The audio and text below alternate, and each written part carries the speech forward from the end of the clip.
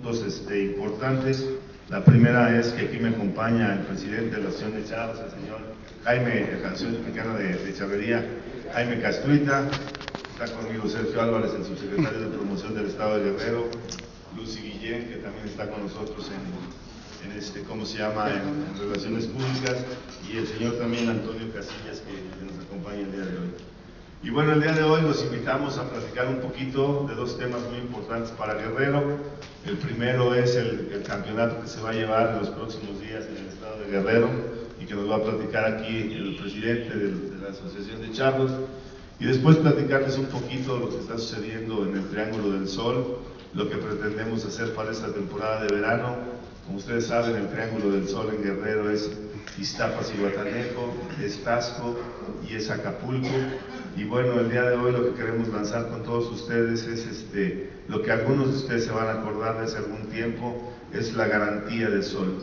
Nosotros vamos a garantizar el sol a partir de esta temporada de verano y la idea más o menos es de que si tú estás tres días en Acapulco, en Tasco, en Iztapas y Guatanejo. Y termina el domingo 22. Esperamos poder contar con su asistencia, de verdad es un evento muy importante, muy trascendental que es eh, previo que, al Congreso y Campeonato Nacional Charro, que se celebrará en el 2013 en Acapulco, insisto, con el gran apoyo y con la visión del señor gobernador Aguirre. No sé, es, eh, en términos generales, lo que les puedo mencionar, en qué consiste este torneo, este primer torneo Charro Triángulo del Sol.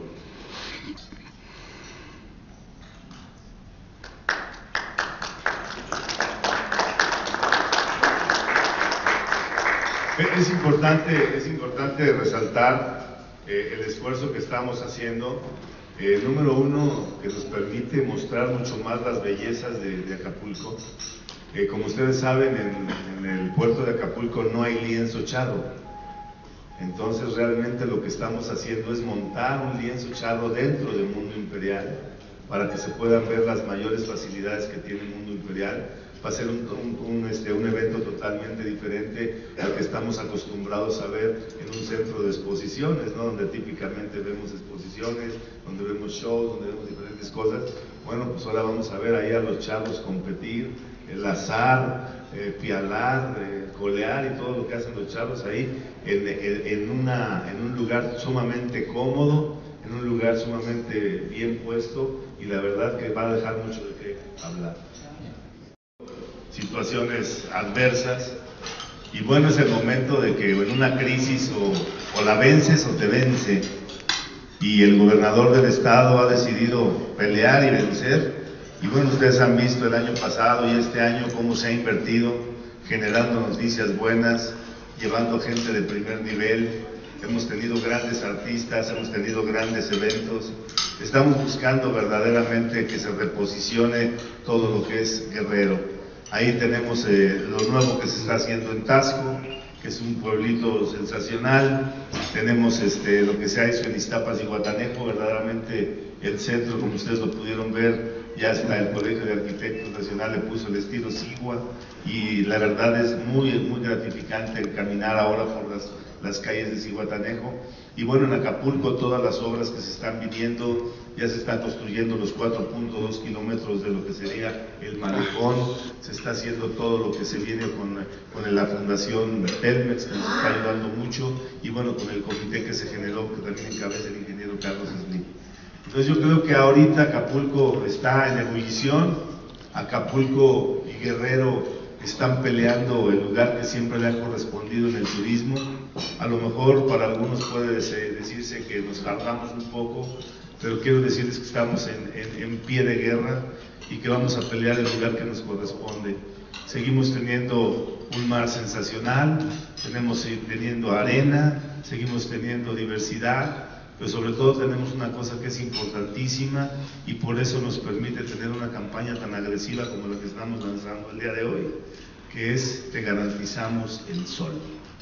La gente cuando va a sol, arena y mar, lo que más importante es que el sol esté ahí y bueno, en los, en los, en los estados de Guerrero, en los destinos de Guerrero, siempre tenemos esa maravillosa situación que se llama el sol.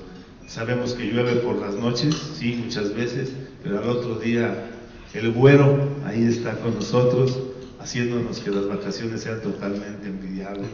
Y bueno, esto fue reunir a todos los hoteleros, eh, no estamos inventando nada nuevo, los que ya tienen mucho tiempo en el turismo saben que hace años se hizo lo que era el seguro del sol, y bueno, ahora lo único que estamos haciendo es garantizar el sol, de que si no tienes tres horas de sol en los primeros en los tres días de tu estancia, el hotel en el que te hospedaste te va a dar la segunda noche gratis en el transcurso de un año, ya saben que tiene sus limitaciones.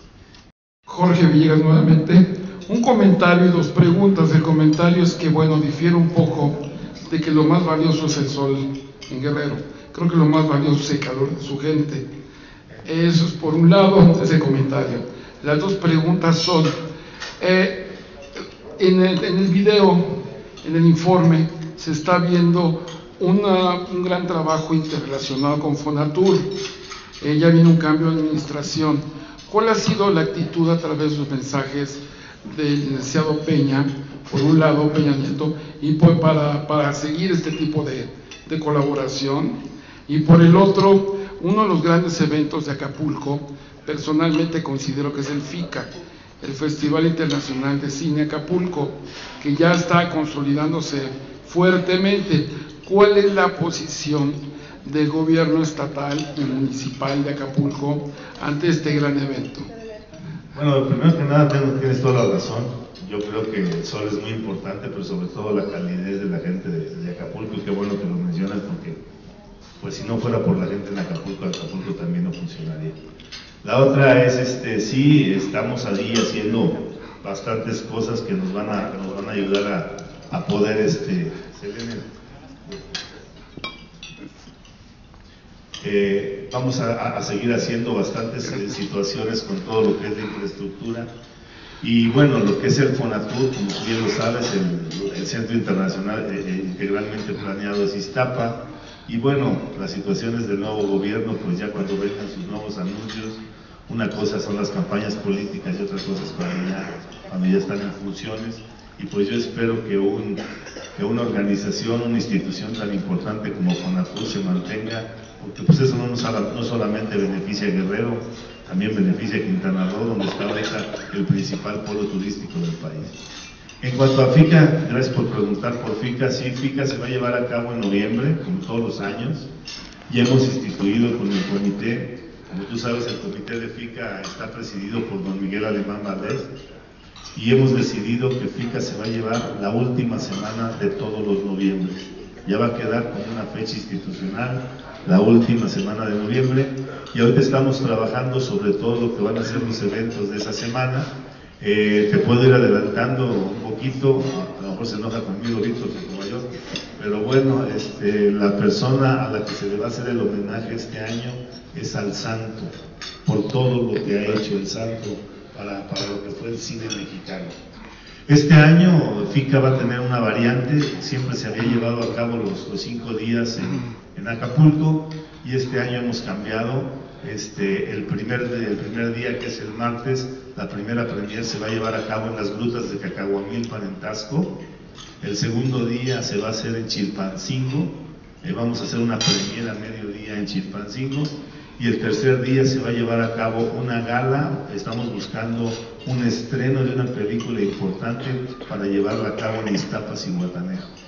Y después los últimos tres días los tendríamos en Acapulco. Se está